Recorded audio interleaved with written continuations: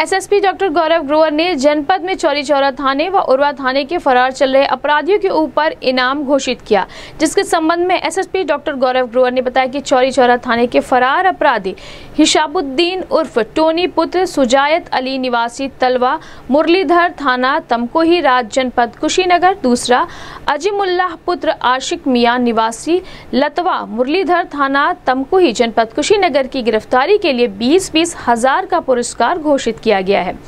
इसके अलावा उर्वा थाने के फरार अपराधी धर्मेंद्र पुत्र स्वर्गीय रामकिशुन निवासी रौजा दरगाह थाना उर्वा बाज़ार जनपद गोरखपुर की गिरफ्तारी के लिए पंद्रह हज़ार रुपए का पुरस्कार घोषित किया गया है। इस संबंध में गोरखपुर न्यूज़ से बात करते हुए एसएसपी डॉक्टर गौरव ग्रोवर ने कहा,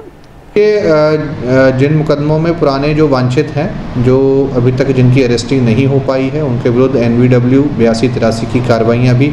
लगातार करने के आदेश दिए गए हैं। उसी के क्रम में ऐसे दो अभियुक्तों के खिलाफ, अपराधियों के खिलाफ जो है,